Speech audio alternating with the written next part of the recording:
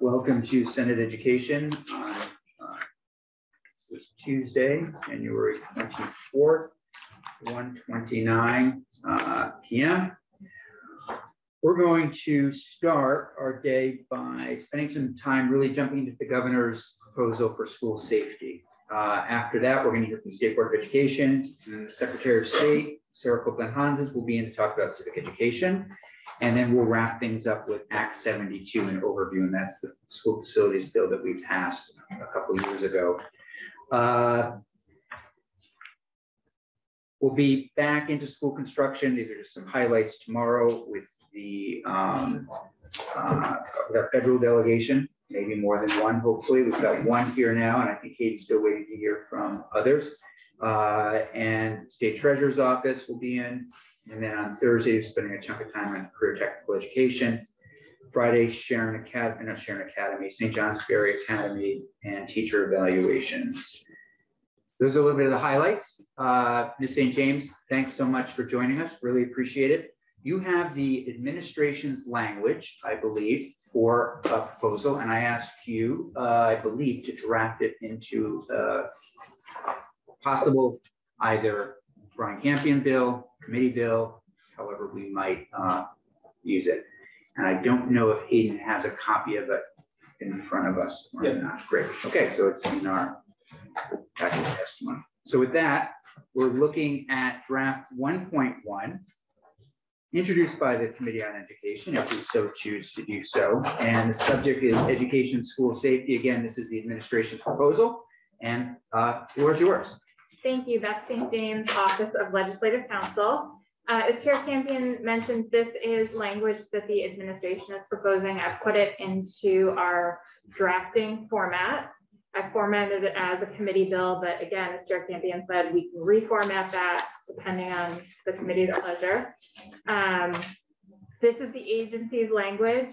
I have not provided really any edits or anything with the exception of um, some technical things, and I'll point them out.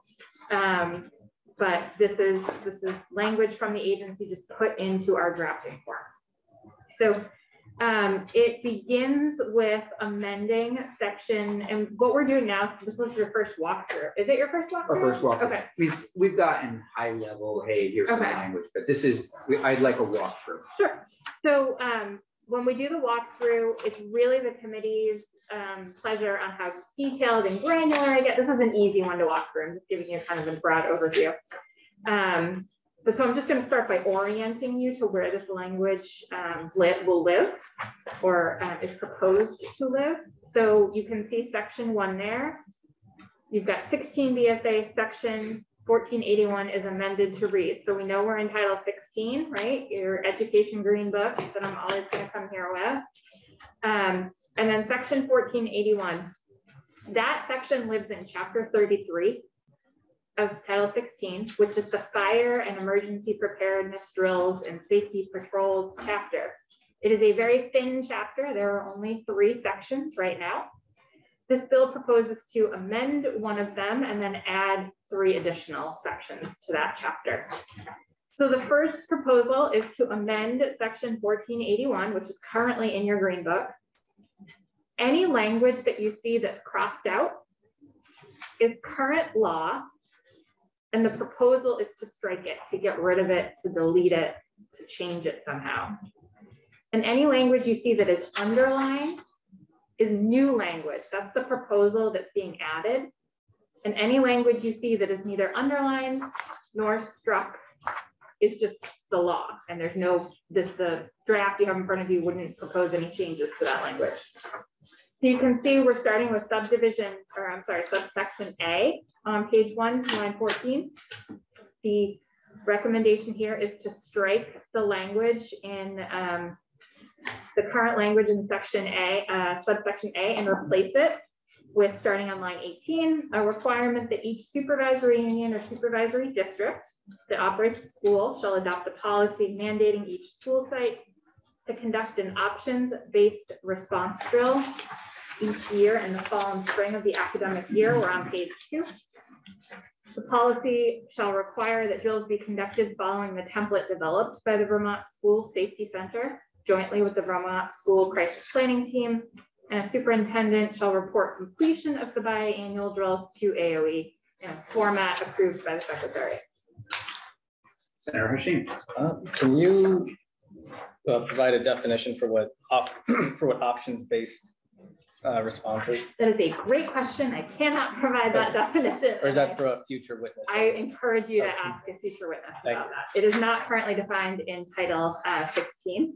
Okay. And it's, uh, was not included in the language provided by. AOE. Senator Bullock. I'm wondering if I should ask this or not. Please. Um, are the, does this change, um, is it also for our academies? That's subsection B. Okay, So on page two, starting on line six, we're gonna strike out everything that's in current law in subsection B and replace it with underlined language starting on line eleven. And that, uh, it's basically the same requirement for approved and recognized independent schools. And then you'll see at the very bottom of page two, starting on line eighteen, subsection C, that language is neither struck nor underlined, so that's current law, and the proposal is to keep that. Just uh, curiosity, going back up to to line twelve, is there a different um, vehicle that covers universities? You know, different, uh, you know, state, state-run universities? Is, is there a reason why universities and colleges are exempt? I believe because this language is meant to apply to uh, K through 12 or pre-K through 12. So the intent of ex- in excluding universities or colleges, um, this section is really meant for um, the, the chapter itself is really addresses K through 12, but intent behind that language, you'd have to ask Okay, uh, AOE. thank you. So I'm just pointing out that subsection C is current law and there's no proposed amendments there uh, for this draft. And so we're going to move to page three. There's, uh, we have, we're adding a brand new subdivision here and it's a requirement that uh, every year the Vermont School Safety Center and the Agency of Education review the reports submitted um, according to those subsections A and B for public schools and um, independent schools and ensure compliance and identify future planning and training needs. So that's the um, amendments to this chapter. Everything else is, that's proposed is brand new. That, there was a lot of brand new language in there, but it was amending a current statute. So we're gonna add, um, section two is adding section fourteen eighty to title sixteen, uh, entitled Emergency Operations Plans. We're on page three, line five.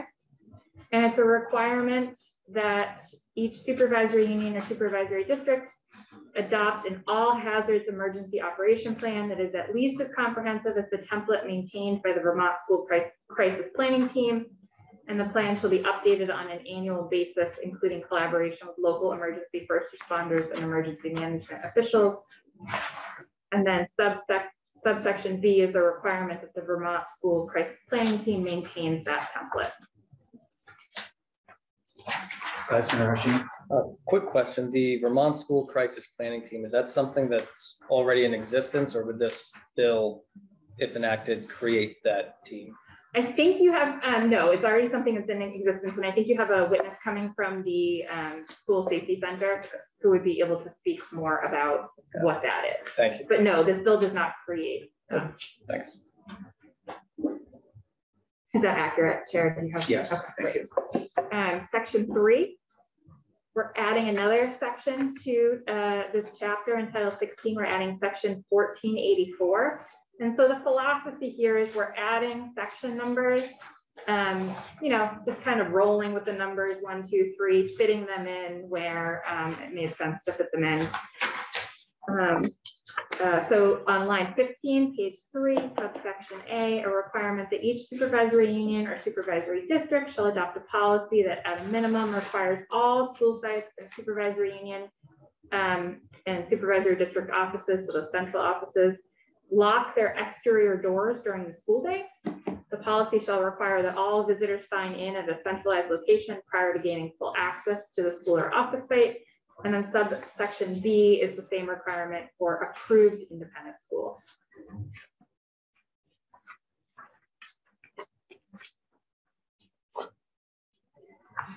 We're on page four, line one, the last section um, that this bill proposes to add to Title 16 is section 1485, entitled Behavioral Threat Assessment Teams.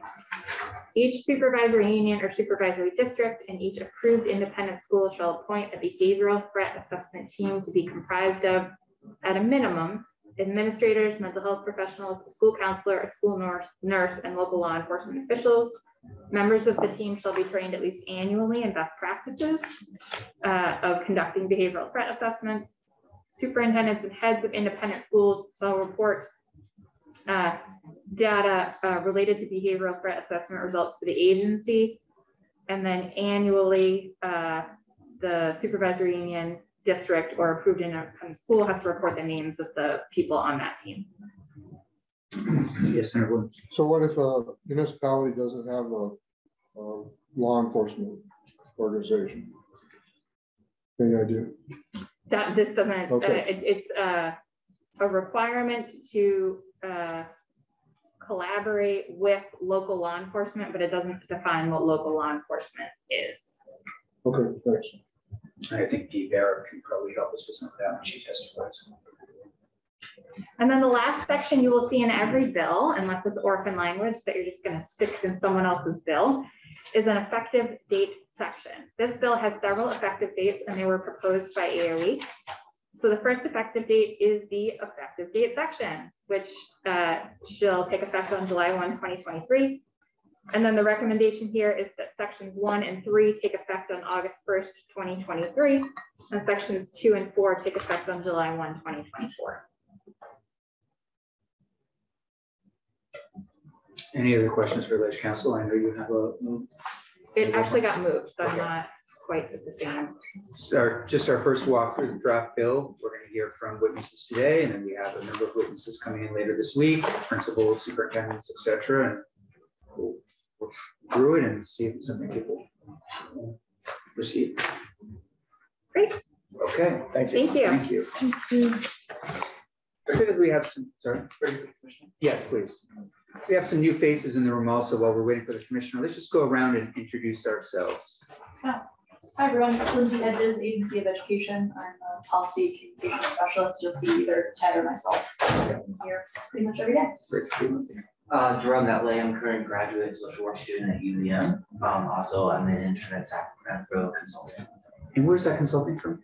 Uh, it's located in Montpelier. It's a consulting firm for social services agencies. Great, okay, thank you. I'm Sunny Erickson with Vermont Emergency Management, and I am the lead administrator for the School Safety Center and the co-chair of the School Crisis Planning Team. Great, thanks. I'm Dee Barbic, and I'm the Director of Violence Prevention. Great, thank you all. Okay.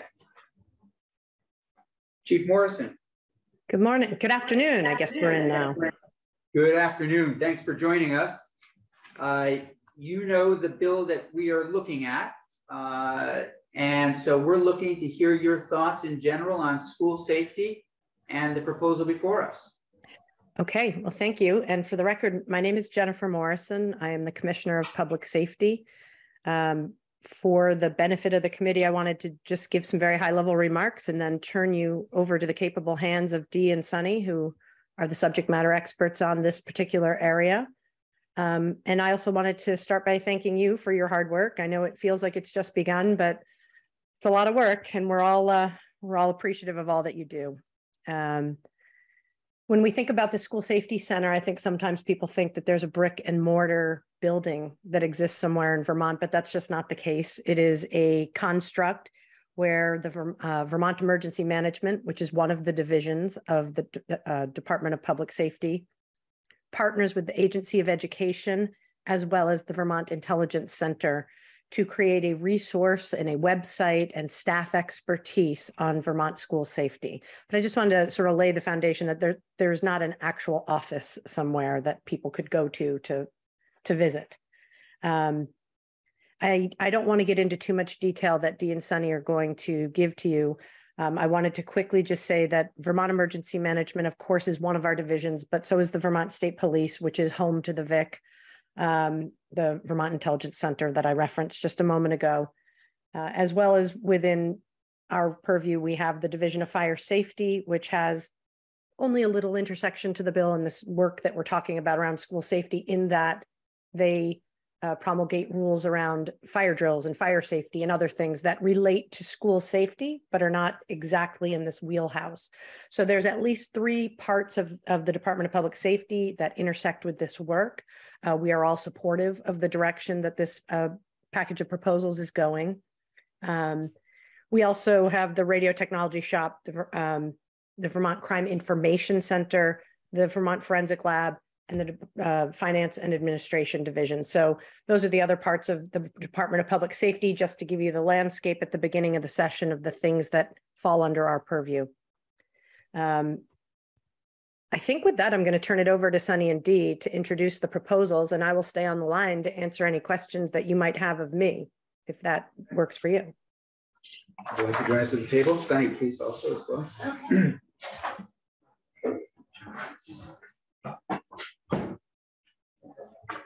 Nice to see you in person. You as well. Thank you, sir. Um, And if you don't mind just introducing yourselves for the record and uh, is yours. Sure. Um, my name is Dee Barbic, and as I mentioned, I'm uh, the Director of Violence Prevention for the state of Vermont. And I'm Sunny Erickson, with Vermont Emergency Management and the School Safety Grant Program Manager. Um, so first, thank you very much for taking the time to uh, have us here today. Um, I wanted to just talk a little bit about some of the proposals that uh, Ledge Council had, had gone over a few minutes ago. Um, as I mentioned, my position is the Director of Violence Prevention, and I work with the Violence Prevention Task Force. Um, just to give you a little bit of history, I'm uh, retired from the Vermont State Police, where I spent a little over 26 years and after that, I worked in the area of school safety for Margolis Healy, where I was the project manager, manager for the uh, Vermont School Safety Initiative in 2019 and 2020. And I'm currently completing my doctorate at the University of Vermont in educational leadership and policy development with my focus on school safety. Um, so the Violence Prevention Task Force was developed as part of the governor's 10-point public safety plan, and it's Can you comprised. just, do you want us to start following along? We have your presentation, I believe. That is. Okay, we'll wait on that. Yeah. Okay, okay, good, okay, I didn't with a okay, all right. Um, so the Violence Prevention Task Force was developed as part of the governor's um, 10-point public safety plan.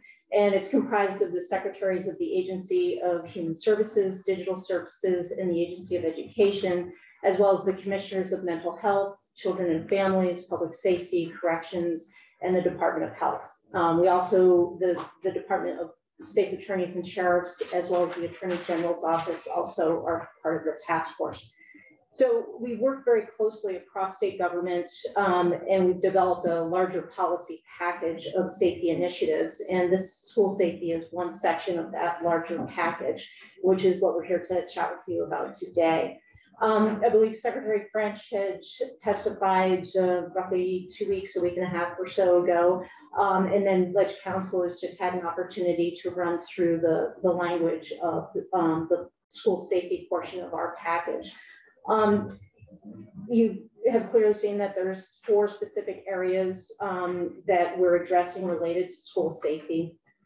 Um, and I would first ask if there were any questions you had about any of those um, particular four sections before I go any I think further. there, the one question that I noted was the question about options-based responses. Could say Okay. Um, I can go into that a little bit, and I think Sunny, um, is prepared to go into that, um, more broadly. Um, you know, we're really in the, the world of school safety, we're moving away from just a lockdown to a threat or school emergency, and we're moving, um, to an options-based approach. And what that does is, you know, the, the environment in school safety is changing all the time. And not every situation is going to be met, uh, where a lockdown is going to appropriately meet the needs of that given situation. So we're transitioning away from that and um, into an- the options-based methodology, which provides a variety of options to choose from depending on the dynamics that are unfolding in a given situation. Um, and again, Sunny can um, speak more about that, but it, again, option space is exactly like it says, instead of just being given one option, lockdown, Yeah. um, you may uh, run, hide, fight is, is an example where, um, an option may be to run in a given situation. It may be to hide, it may be to fight. Again, it gives you, it trains in choices and what is the best choice and to make in a given situation. Can I just ask, and this might be Sunny, feel free to punt it, who, who would be making those decisions in the schools at that moment? In terms of Um, which option from which to choose? So in the, the classrooms, teachers would be making those decisions. Um, and again, it would depend on where they are in the building and where the threat is in the building. Okay. So it would change. It wouldn't be like the entire school is going to choose the option to run or the option to hide. It really depends on, again, where they, they are in the school, in the building, and what the situation is at that exact moment in time. Um, I- I did want to touch on, um, the behavioral threat assessment team portion of, um, the policy package. And just, um, go into a little bit of information about that. Um, what, um, oftentimes folks aren't familiar with behavioral threat assessments, so I just wanted to describe that a little bit. Um, they're basically an assessment and management um, process as a preventative approach to threats and acts of violence with the primary goal um, being to um, assess and then manage a situation or um, you know potential situation that might develop.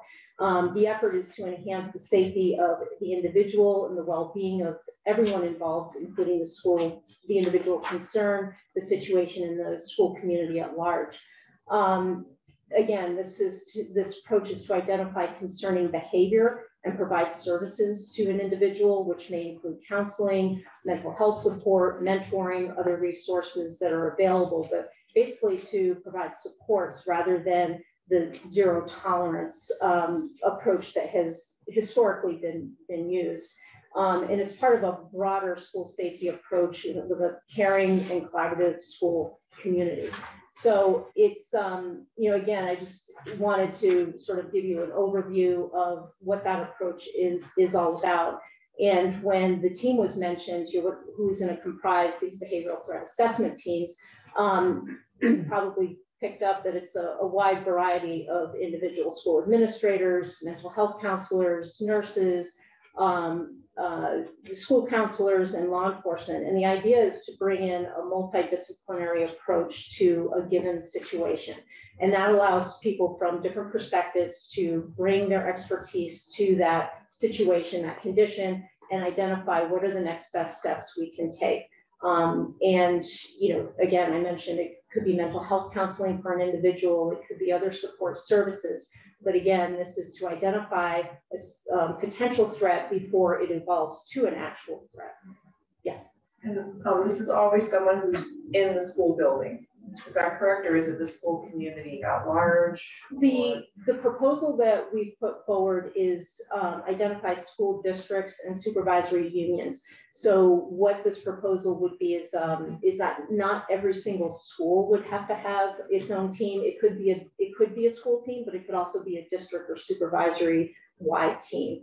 Um, and again, that's in keeping in um, two things in mind, really. One is that not every school will have the capacity to have a team. So we have said, okay, a school district team may be in some cases um, a, a, better option. Um, but in a lot of our communities too, we see that our school district, we have very tight school communities. We're very fortunate in Vermont to have that. And oftentimes the, the districts are very familiar with, you know, families and kids and um, and what's going on in the greater school community. So um, I think, you know, in our in our very um, specific area in Vermont, we're fortunate to have those close-knit school communities, and that I believe allows us to have these teams be district-wide or supervisory union-wide. Senator Hashim and Senator. Um, I'm sorry if you mentioned this, but uh, line seven could you just tell me what the best practices are? I'm just reading that members of the team should be trained at least annually in best practices and just wondering what the best practices are and where they come from. Um, I'll turn it over to Sunny to, to talk more in detail of that. So we are, uh, through the School Safety Center, um, we have been offering for the last year and a half or two years, behavioral threat assessment, awareness level, um, introductory training. And that's, uh, we've partnered uh, with a contractor who is a national thought leader. It's, uh, it was formerly known as Sigma uh, Threat Management. Now they've uh, merged with ONTIC Technologies. And the folks that run those programs and are providing that training to educators throughout the state, and those have been virtual due to the pandemic. Um, they have been in, you know, in the Secret Service as the head psychology folks. They've been really immersed in behavioral threat assessment and how beneficial that can be um, for decades. And so we are, you know, partnered with these thought leaders and they bring to those trainings what they have identified as the best practices and who should be at the, you know, at the table for those behavioral threat assessments, what you should be looking for, what to identify as really concerning behaviors or what just might be something that's worth mentioning, but doesn't really need to be fully investigated. Mhm. So the folks that we have contracted with that are delivering these trainings um, are the ones who are coming to the table with the best practices. Um, and those can be evolving as, you know, as school safety, uh, the evolution is, is very quick um, and changes, it feels like almost on a weekly basis. And if new uh, practices pop up very, you know, as we move along, then they will bring those into, into the trainings as well. Great to know, thank you. Did you consider bringing uh, emergency management coordinators or directors into this from municipalities? Um, actually, for the behavioral threat assessment, uh, trainings are open to anyone. So we have law enforcement, is school resource officers. Um, it can be, you know, folks from a township or a municipality. Uh, it, it is open to, to anyone who is a, a, you know, interested in invested stakeholder in the communities. We, we encourage as many people to participate as possible because that's only going to strengthen your community responses. Please, continue.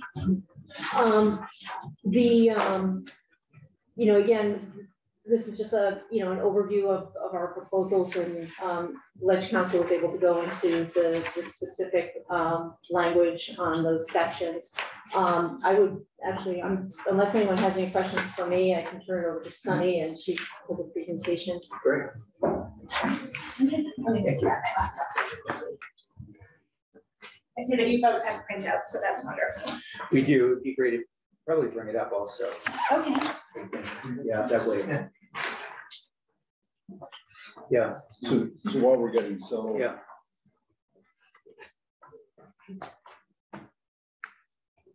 You have a question for Dean? I do. Yeah. Yes, I'm. Just so while, while your, your colleague is getting set up, um, curious on page three, the emergency operations plans. Is the intent like to draft a template that each school then tailors to its own physical facilities and staffing levels and what have you? What- Yeah, What's the level of effort following the introduction of the plan? So the, the template already exists. It's been developed and it is available on the Vermont School Safety website. And um, it is being utilized by some schools. Um, But this would encourage all schools to be on the same template, the same format for their emergency operations plan. Is there, is there then a follow-up kind of validation that they're doing it or they're, uh, they've tailored it appropriately? Is there a subject matter expert that says, hey, got it, or? That would be through the Vermont School Safety Center. Okay, all right, very good, thank you. Is there a, um, a button in which I can move that along, or should I just, If Caitlin does it, fine. Yeah. okay. Um, all right, uh, I'm Sunny Erickson, um, with Vermont Emergency Management, and, um, in charge and overseeing a number of school safety initiatives and programs, uh, through the School Safety Center. And as I mentioned earlier, I work um, very closely as the co-chair with the Vermont School Crisis Planning Team. And I thought that what we could do is go over some of the current safety programs that are ongoing right now. And then if there's any questions on, you know, previous work that's led up to where we are now or future plans, we can uh, chat about that afterwards. And Cindy, while you're doing that, if you don't mind telling us which ones are kind of required, which ones are optional, that sort of thing. Oh, okay, what, what do you mean by optional? I'm sorry. Well, we do, I mean, this is, we would be, as I understand it from Secretary French, we're taking some different programs that are happening throughout the state right now and making them required. So it sounds like there's some opt-in, some, you know, options there right now in some of our schools. Okay, But correct me if I'm, correct me if I'm wrong. no, you're, I mean, you're, you're not incorrect, uh, with that assumption, because as the draft language, um, you know, proposes, there are requirements for behavioral threat assessment, including having to take some of the trainings and reporting back on, um, you know, who's on the team and that they're confirming their, um, training requirements have been met and things like that. So those would be overseen by AOE, but they are proposed to be requirements for each of the schools. Um, the training programs that we offer are open to any educators uh, within the state, um, K through 12, uh, grade, grade wise. Um, and any of the trainings are um, free of charge, but are not specific requirements, I guess is the best way to describe them. Eventually, behavioral threat assessment may be a, a requirement to be, um, to have the training to be on a team, but the other trainings that we have are not things that are required as far as I know by individual school districts or supervisory unions. Um, and all of these things fall under the purview of the school safety center. So we'll, we'll talk about that a little bit first because I'm not sure that um, how familiar any of you are uh, with it. And if, uh, if you are familiar with some of the stuff, we can skip, uh, uh, skip ahead. Can we move to the next slide up here? Thank you. So the School Safety Center, as Commissioner Morrison had uh, noted, when you think of that, you think of a building you can go to with people, um, you know, bustling around doing school safety work. In some states, that is the case, but in Vermont, um, as the commissioner noted, it is a resource center, an information clearinghouse, a place where you can go for templates. You can get online training information there. There's tabletop exercises that um, you know, the, the planning teams in the schools can download and run through on their, you know, weekly or monthly meetings with their teams. Um, there's a lot of really wonderful information that's housed there. And the School Safety Center has been around since 2016. It's a partnership between AOE and DPS. Um, it's manned uh, by myself and my uh, colleague Rob Evans from the uh, Agency of Education, and he's the School Safety Liaison Officer. And we co-chair um, the school crisis planning team, which helps put out these the guidance and the templates and the recommendations through the safety center. So our goal in the safety center is to uh, promote uh, preparedness measures, uh, get folks as much training as they can, work on emergency operations plans, all hazard approaches to planning, um, we work with, uh, you know, counselors and teachers and principals and superintendents, um, really the whole spectrum of folks that are immersed in the education world. And we provide the best practices and recommendations, and those do change pretty often. So we are constantly doing some outreach for, you know, the, the best practices as they are, um, as they come about. Uh, next slide, please. Thank you. Here uh, on this slide is listed some of the services that we provide uh, through the Safety Center. Um, as Dee had mentioned, we do a lot of planning, training, and exercise assistance. Actually, that's how I first uh, met Dee when she was uh, running the planning, training, and exercise emergency operation plan development training um, through the School Safety Center. And now the template that came out of that is available for folks to use as they're doing their own emergency operations planning, both on the individual school level and at the district and supervisory union level. Uh, we also put out planning guidance, the drill guidance as we work with the fire safety uh, division to, to make sure um, you know, we're putting out information that is you know, safe in the time in which that guidance was issued. So with COVID, we had to go back and you can have large people gathering. We had to alter that guidance for egress drills and bus evacuation drills, which are required um, on a yearly basis. So some of those change based on the situation that we find ourselves in um, in the world. And the school safety center is the one that promotes that and pushes that information out. We also have information for parents and guardians um, for how they can respond in emergency situations. Um, and we give some templates there for schools to communicate with uh, parents and guardians.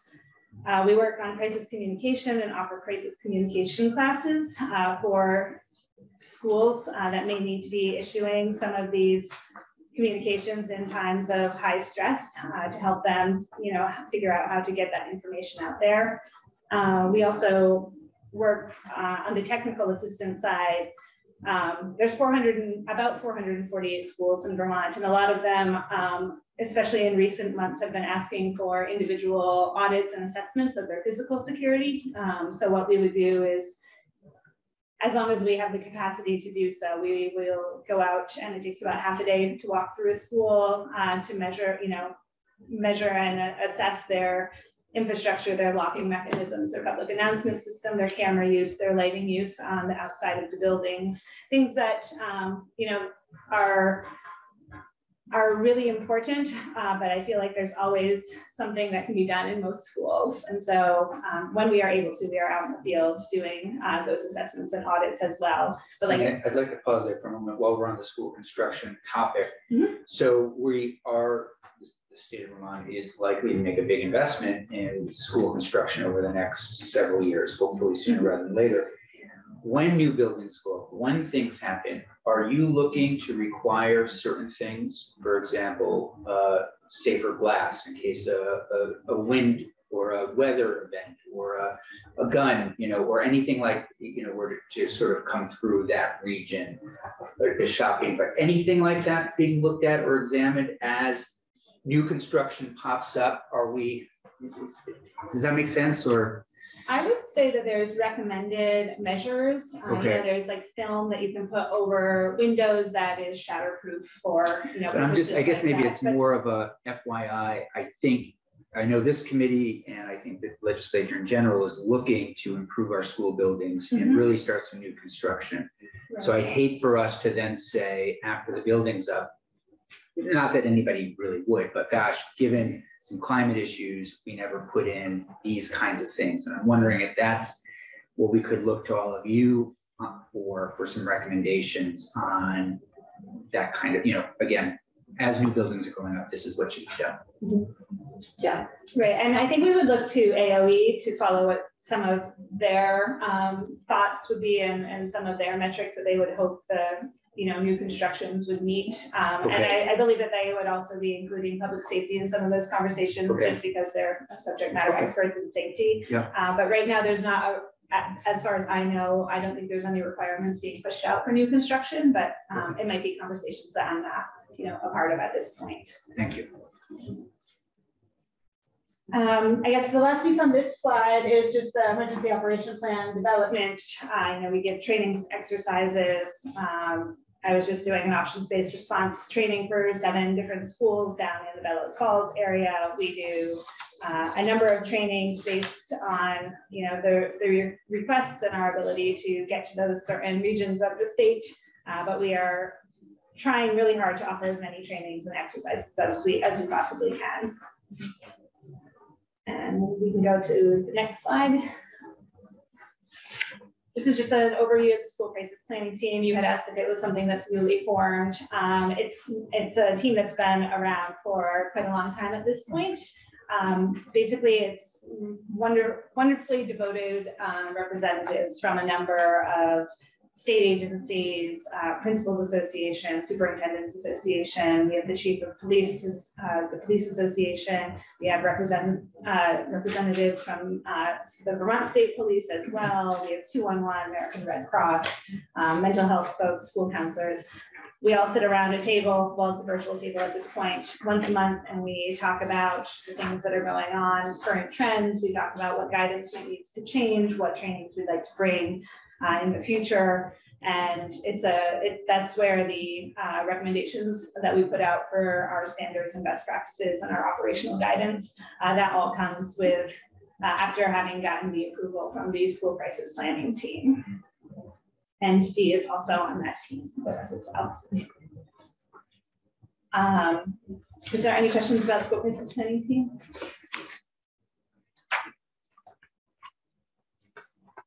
As the secretary, uh, Secretary French was here recently talking about this, and we were hearing about it uh, a little bit earlier. Uh, the Department of Public Safety has been working uh, closely, and myself, Dee, and Rob Evans uh, with AOE. We've been working with the legislative uh, council from AOE on drafting some of this language.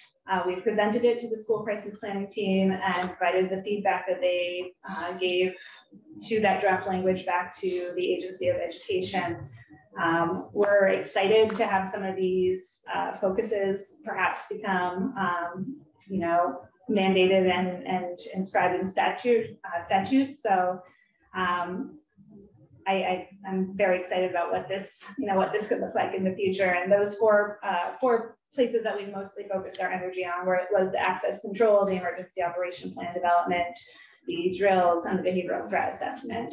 Uh, each of those have been things that the school uh, safety center has been working on for a number of years uh, with the school safety grant program with the governor. Um, for two years, two consecutive years, he uh, invested 4.1 and then 1.5 million dollars in the infrastructure. A lot of that went to access control with um, notification systems, lighting, cameras, blocking mechanisms.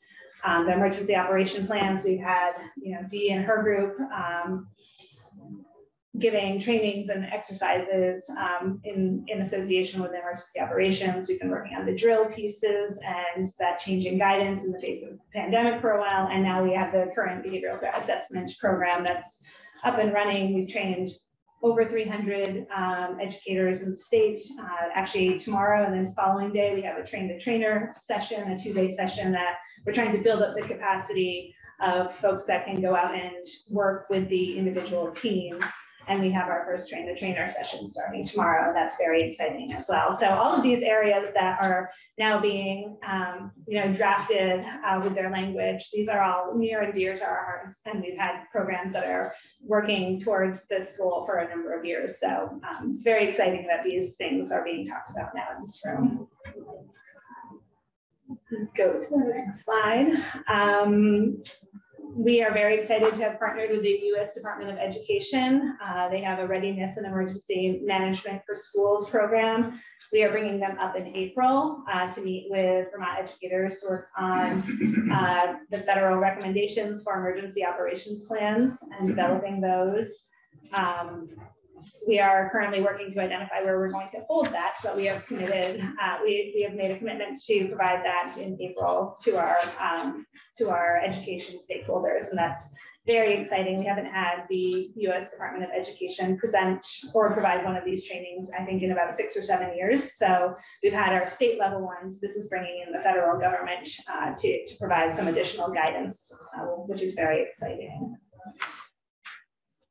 The next slide is the options-based response training. We spoke a little bit about this. Uh, Dee did a really good job of uh, you know, covering what that really means. And uh, historically, the lockdown mode has been the mode to go to in the case of an emergency. You know, locks lights out of sight is sort of the, the motto for that, where you lock the door, shut the lights off, and sort of hunker down. We're moving away from that uh, because sometimes that's not the best option and providing uh, educators and administrators with the idea that there's not just one universal um, response mechanism that empowers them to make other decisions that could save lives or prevent injury. Um, we have been traveling around uh, through this uh, partnership with the state police and the school safety center, we traveled uh, throughout the state and provided 10 options-based response trainings with a partnership with the Vermont State Police, and we held those in schools throughout the state um, in the month of August. Uh, it also, you may have heard of ALICE training. ALICE training is another way, another options-based response training, follows pretty much the same ideas of run, hide, fight, except run, hide, fight is sort of an easier to recall in the moment uh, approach to, to options-based response training, much like stop, drop, and roll is something you all can recall from probably kindergarten or first grade. So we have trained with options-based response training. I think we were at about 400 folks in attendance over the, the one month, and we've provided that same training at the Vermont Emergency Preparedness Conference, at the, uh, we spoke about it at the uh, Governor's School Safety Conference, and we provided a couple of those to um, in like educators during the in-service day trainings uh, throughout the state as well. And we can move to the next slide. Thank you. You are doing a really great job. Uh, speaking about our behavioral threat assessment program, uh, we did mention, you know, some pieces of this earlier. This was initiated through a Department of Justice award. Uh, we got over $350,000. We partnered with Sigma, now Sigma Ontic. um, and have been offering these trainings for the last year and a half. Um, our next train the trainer session starts tomorrow and the next day. And we were also recently awarded an additional um, $250,000 through the Vermont Department of Homeland Security, uh, which will allow us to continue op, uh, offering these behavioral threat assessment trainings and additional train the trainer sessions um, in the future. So we just were awarded that about a month ago, and we're excited to be able to continue that um, because we do have the additional funding source, and that's a two-year grant. So we'll be offering those trainings um, and the train the trainer sessions for the next couple of years as well.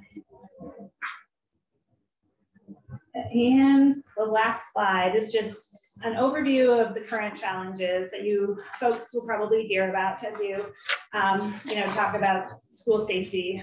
Um, these are things that are, are popping up on our monthly uh, calls with the school crisis planning team. Um, actually, in most of my conversations with any educator in whatever role they happen to be in, uh, these are the things that are popping up. The student behaviors coming out of pandemic, there's a rise, um, a, a, severe, like a severe increase in um, outbursts of violence uh, with students, and they're seeing it in younger students too. Um, you know, you will find some of these behaviors that are very concerning in elementary school, where you typically in the past would not have seen this, and that could be part of the isolation from pandemic and the social, you know, the social uh, impacts from that. But we're seeing it across the spectrum, K through 12. Uh, there's a lot of behavior challenges right now, an incredible lack of mental health resources um, that could help assist with some of those behaviors. And when they go to seek assistance with um, local uh, agencies, they might not have anyone available for a number of months. And so that's that's troubling as well.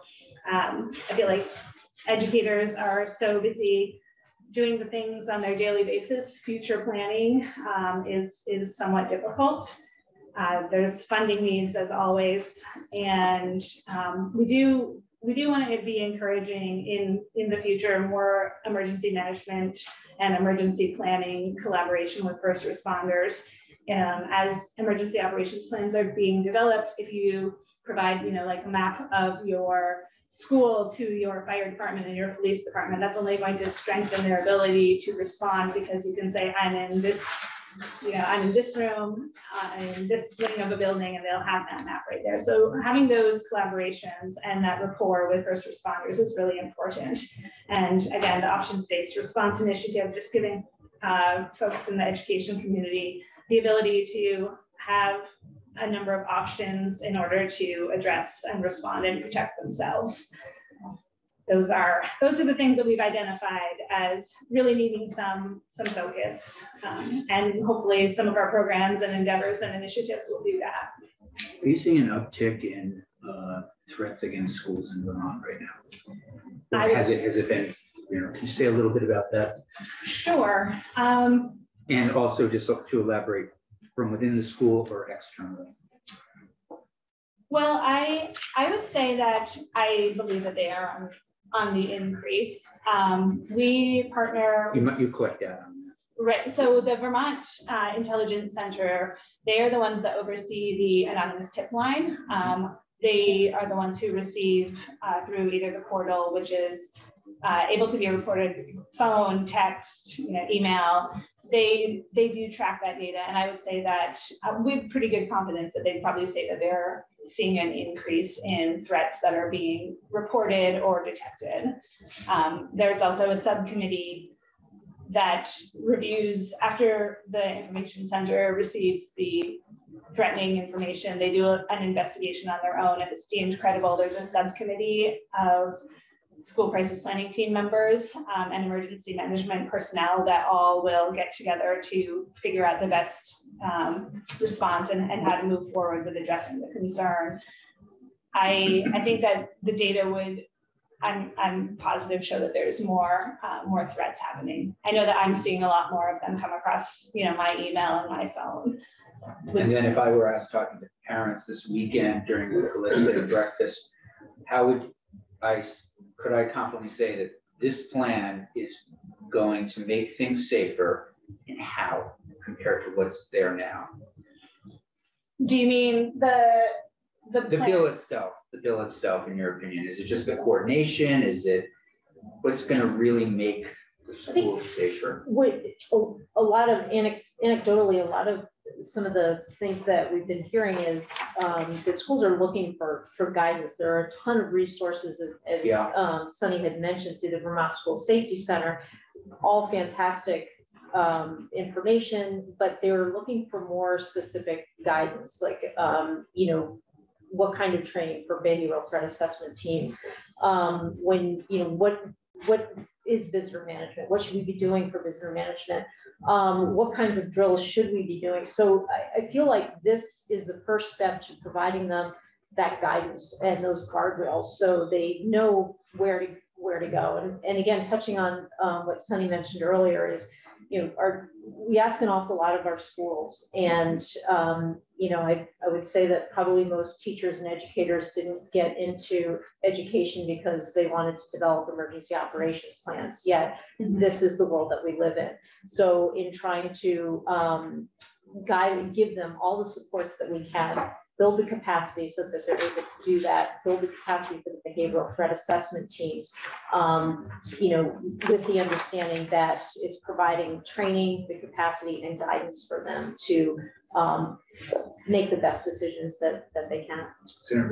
Thank you, thank you, Chair. Um, so the behavioral threat assessment team, I guess this is sort of pigging, piggybacking on my initial question. I, I, I assumed it was sort of school-based because I can totally imagine in my mind if you've got a threat within the school, how you, how you would handle that. Where I can't quite, um, what I don't understand is if there's a person in a community outside of the school that might be posing a threat, how does, what does that look like? How do you like proactively identify and deal with that person? And I, it's obviously, I don't know a lot about law enforcement. So you may, uh, law enforcement might already have tactics or protocols around that. But can you speak a little bit to that? If there is a threat that it's a, a known potential threat outside of a building, how you handle that? Because I think that's in here, right? Part of the work of the behavioral threat assessment team. I see Chief Morrison's hand is up also. I didn't know if you wanted to weigh in on this. Actually, I didn't notice, Hayden noticed, but Uh, thank you. Uh, I wanted to put some context on the numbers of threats, and I have the luxury of being at my keyboard, so I can pull some stuff up. Um, so when we're talking about the number of school threats reported to the VIC in all of 2022, we're talking about 26. And the number of, of tips that came in on the school tip line over the course of 2022 were four. So we're not talking about huge numbers. Um, in the first 20 days of 2023, there were three school threats reported to the VIC. So I guess if you take that and say that sounds like about one a week, that perhaps we could extrapolate that there would be 52, which would be double the 22 numbers. But I think it's too soon to say. These things tend to go in um, fits and spurts uh, uh, depending on the school year calendar. Uh, so I just wanted to give a little bit of context that we're not talking about huge numbers to those. And um, to the question about how we handle threats that are that are uh, generated by external actors who make a threat against a, a school facility, that is another area of um, collaboration where when the information becomes known, that we work uh, with the school to make them aware of the threat or challenge and so that they can do any target hardening or appropriate actions. Maybe that's a notice of trespass against the the, uh, the person who's making the threat. But of course law enforcement has a specific role to gather information and determine if it's a credible threat or not. And if it rises to the level of prosecution versus perhaps not to that level and again a notice of trespass is the only appropriate mechanism at that time. Um, but all threats to a school are reported through the Vermont Intelligence Center or are supposed to be. Let me let me leave that right there uh, for the very purpose of being able to track them and and provide the context that I just provided to you. Um, and then each th- each threat or threatening situation is evaluated individually. Each one is is evaluated on the totality of the circumstances, on uh, how specific the threat was, on whether the person took any overt action towards carrying out said threat, um, and there's a lot that goes into that to determine if it's a threat that generates prosecution versus uh, other um, supports being provided.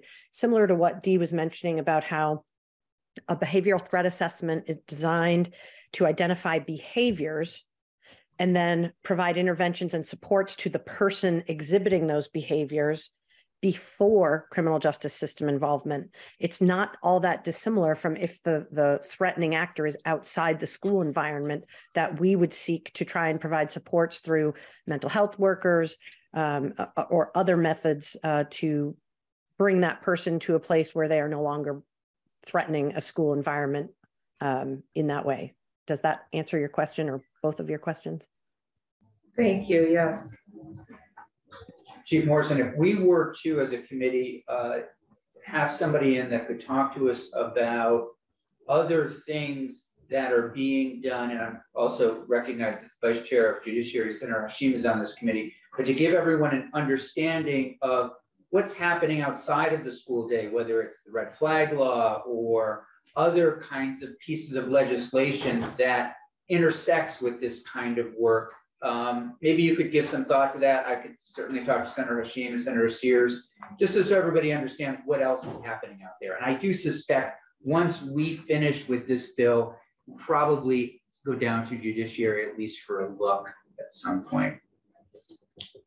Yeah, that sounds good. I'd be happy to collaborate with you in, in any way that is useful, useful to you and in order uh, to contextualize the, the bigger environmental picture, because of course, schools are not silos alone in our communities, right, right? right. And if there's violence and outbursts, as Dee I- or Sunny or one of them was talking about, um, the frequency and severity of outbursts and behavioral uh, violent behaviors that are being exhibited as low as our elementary schools.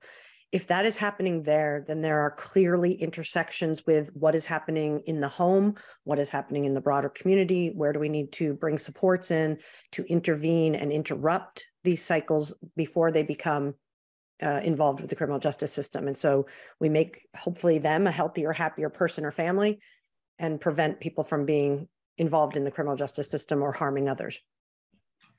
Yeah, it just as an, an example, several of us had meetings with our hospitals this week uh, over violence that was being seen in the emergency rooms. Mhm. Uh, I know that the governor put some money in the budget to help deal with that. Uh, just another sort of group out there, nurses, physicians, others having to deal with uh, increased violence. Senator Williams. Just a, I- I'd like to encourage you to include uh, somebody from the municipality into your response team. Uh, We had an example of a town in, uh, in our district where they had a lockdown of the school and there was some drug activity next door. And the phone started ringing off the wall at the town office.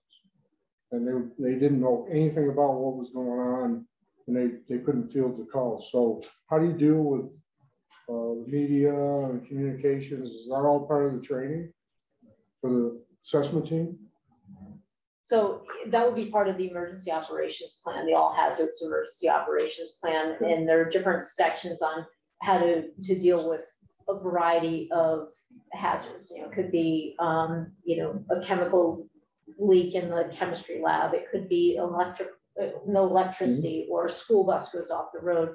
So that would be part of, and, you know, could be an appendix to the emergency operations plan. Um, and again, it's all hazards, so that would fall within.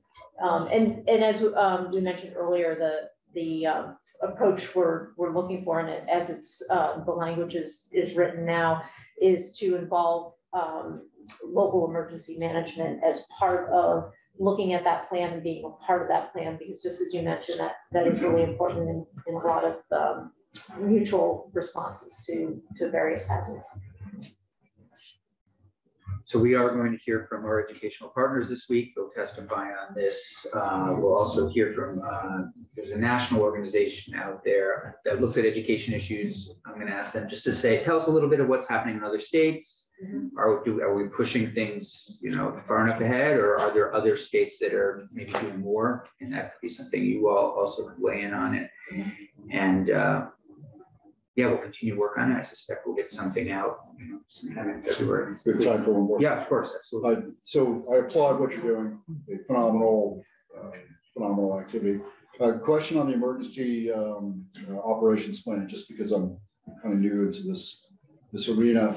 Uh, I understand when a school has a, a situation where the, the issue is uh, inside the school or it's a, or it's a threat to the school. What about, um, to the chairman's point, uh, half hour ago or so about uh, natural disasters in the area where the school becomes more of a focal point uh, for response as opposed to, you know, uh, uh, experiencing a threat in, inside. And I just, again, just curious if the emergency operations plan considers how the school is utilized in a, you know, in a community-wide um, uh, scenario. in the sense that, um, that the school will be used as maybe a warming shelter or, Exactly. or That's something like that? Okay, um, that can definitely, um, be worked into the plan. And again, the, the template of the plan allows for flexibility. Okay. Because in some communities, that may be the designated, you know, warming shelter or, or other, it may be used for other purposes in an emergency. So in those cases where, um, towns do utilize those schools for, for those purposes, it should be part of that emergency. So, so it is part of the template or? It should be part, it should be part of the town plan. Right, uh, but right. school- The emergency, yeah, the regional emergency management plans, those, those already exist. It's helpful. Right. Yeah. Thank you. There's probably memorandums of understanding between the school and the community uh, that would establish it for an alternative shelter or something along those lines, whatever it needs to be. Okay, thank you. That's where the importance between the emergency, the like local emergency management director and the school, that relationship is really important. Thank, many thanks to all three of you. Really appreciate it.